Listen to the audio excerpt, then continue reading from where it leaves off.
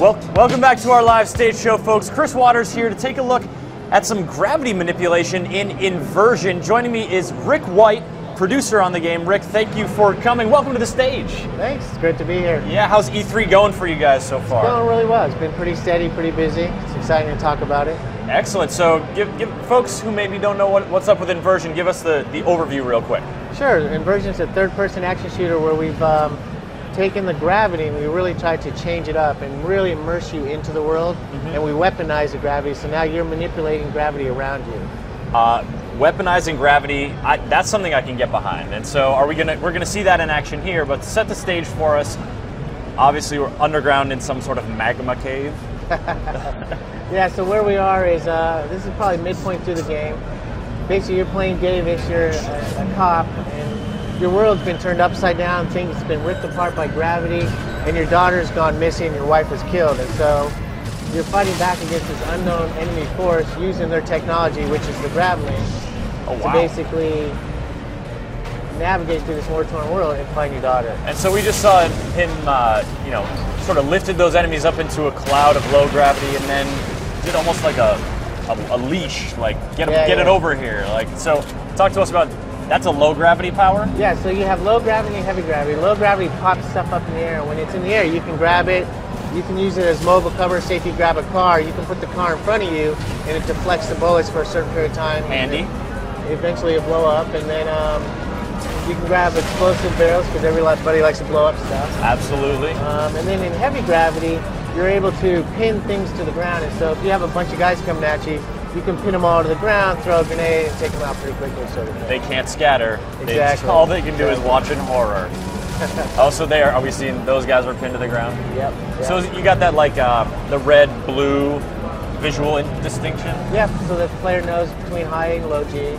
Um, you can also do what we call a shockwave, which basically, you're getting overwhelmed by a lot of things, you activate the shockwave and it basically throws guys up in the air into zero gravity around you, sort of thing. Is that what we just saw? Sort of. That's why there's all this debris hanging. Well, that's from all the low gravity that he had shot earlier, okay. so it's persistent for a certain period of time.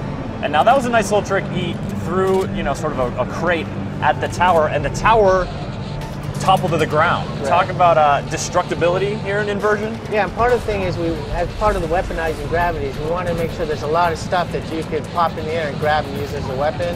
And so we'll also have challenges in the game where, say you're advancing on a strong point, a big killing zone's in the middle, and so what you might do is use your heavy gravity to pull these crates that are being tied up to the top uh -huh. of a bar, bring it down to create cover so you can advance a little bit. And there's that shockwave Yep. Throwing guys, throwing the onrushing shirtless dudes with pickaxes. Yeah, off. these guys have very few hit points. but they do have a lot of blood inside of them, judging they from do, what we just saw. now I was seeing, I, I was watching the trailer you guys were showing here, and uh, at one point he seems to lift a guy into the air and then cause him to just explode entirely. Yeah, so once guys are in the air, they're kind of vulnerable, and what you can do is you can pull them to you and do what we just a quick kill and just yeah. smash them to the ground or whatever. Nice. And you got a little friend there alongside, uh, so that begs the question: Is this single player campaign cooperative? Exactly. So you can play as your your buddy Leo as well, and play through the whole game co-op wise. Excellent and it makes a lot more new, new, new dynamics. For example, you'll now, like I mentioned, the car. So I can have the car in front of us, and your partner can be shooting under it, sort of thing. Okay. So we're trying to change it up. And you guys both have the same kind of gravity powers, exactly. so it can be just double trouble. Exactly. And so what you'll see in a minute is we'll begin to an area that we have vector changes. Now we've got a question coming in from Christian in Illinois, um, wondering about player progression uh, throughout the single player campaign? You know, I guess gaining powers. Is there experience? I mean, new guns and stuff probably probably yep. a given. You'll get new guns as you advance on uh, defeat bosses and just advance through the game. You have different type of weapons, but a lot of it's going to come around the grav link, and your grav link becomes more and more powerful. So, for example, like we were talking about the car, early on you're not going to be able to lift the car, mm -hmm. but as you progress and you get more powerful using your grav link, that gets better at at doing stuff, and you'll uh -huh. be able to lift a car or whatever. You get so, stronger and yeah, stronger. Yeah. So in, in addition to getting stronger, is there a new, is there like a later in the game kind of grab power that? No, it's less. It's less about that versus the GravLink. You might have a power later on that. Um, try to figure out how much I can talk about. So Yeah, that's all right. um, we hope to basically have, I think, three to four different levels to the gravity, uh, GravLink, and how you use it. And so you're unlocking these abilities as you progress through the game. Cool. So getting more and more powerful and being able to do more and more with gravity as you progress.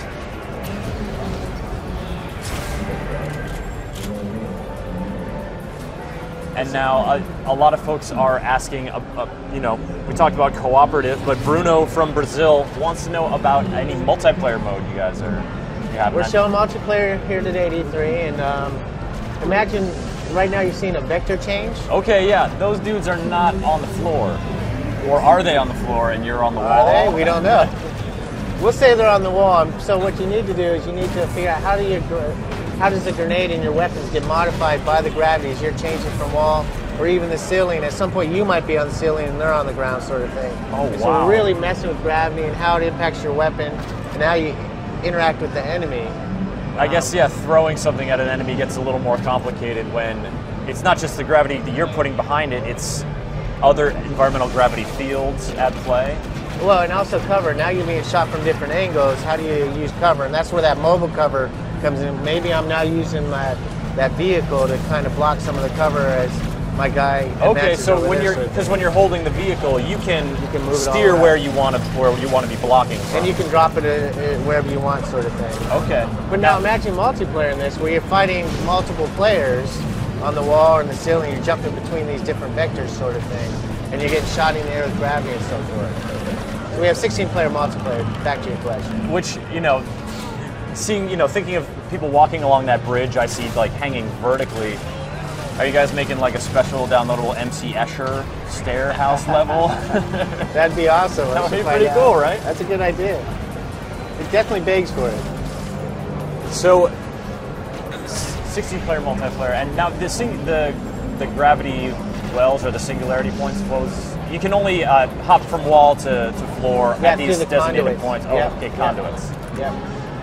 Oh, I see. And so, I guess that that giant lava waterfall gives you the helps orient you, right? Gives Exactly, you the hint that okay, exactly, actually, exactly. yes, I am on the on the wall right now. Yeah, and then we'll also have areas that are like bubbles of zero gravity, where bubbles appeared in the world and it's ripped the environment apart. And so the player's going to have to learn how to go through these zero gravity environments using the gravity to grab different points. And at the same time, how does he fight enemies who are used to that zero G environment?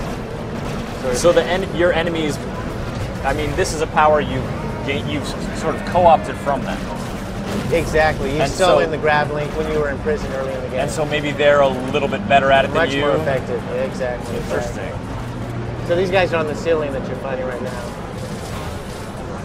And now, so as you jump around through the through the conduits, you're playing with perspective, you know, and, and your idea of which way is up, which way is Exactly. down. In the trailer, there was a moment where it almost seemed like the perspective came out of this sort of behind the character third person view and went into almost like a two dimensional Contra style view. Right, right, right. Is that? Are you guys talk about that? Are you playing? How are you sort of ex- experimenting with that throughout the campaign? Well, we're playing with it. We haven't really decided what we're doing with it yet. Okay. Um, we're still teasing with it, honestly.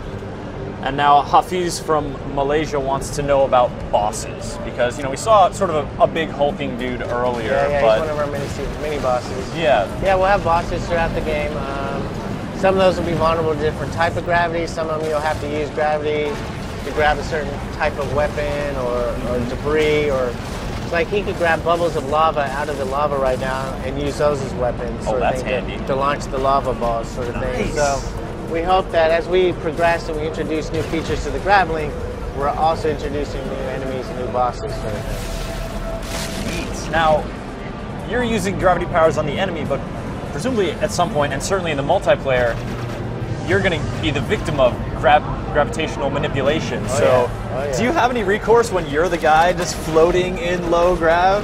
It sucks. I mean, you're not you're not as effective as shooting, but you can move a little bit in, when you're floating, especially in zero G. We need some counters. Uh huh. But as you progress, we'll definitely have counters to it.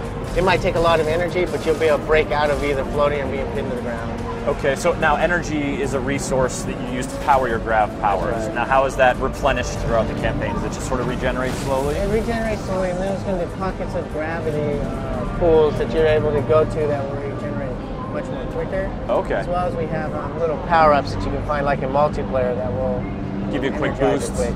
Yeah.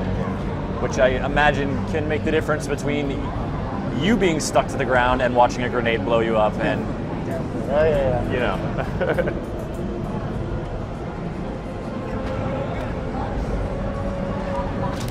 But yeah, the enemies will definitely be using gravity against you. now we're seeing right now I mean you're obviously in the mid in the middle of a great rent in the earth. There's magma bubbling up. There's you know this is maybe like sort of the an, near the enemy stronghold or uh, in the enemy ter- you're in enemy territory. Can we say that? Yes, you are in enemy territory, and Okay. basically this was an enemy uh, compound that they believe were holding children, Mm-hmm. and so that's kind of these guys were infiltrating into it to try and figure out, you know, is my daughter here? because he's looking for his kid Yeah, it's pretty scary. We're kind of close to the end of the demo. can you give us an example of another uh, environment we can, we're going to see Well, what we can do here is, since he's at the end, he'll show that's one of going to be one Oh, wow. of our zero uh, G environments. So as it comes All up in there? he'll be able to navigate through that zero G. navigate through it and hopefully avoid those lava streams Exactly. or explosions. or use them to your advantage as you were saying. Or use them before. as you engage enemy guys coming through it after you. Exactly.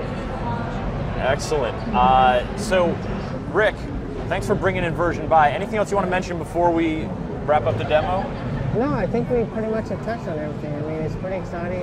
As you can see, the gravity has really been immersed into the environment, not just in the gameplay, but the environment itself is part of that gameplay. Mhm. And so I think uh, I think we're hitting it. It's cool.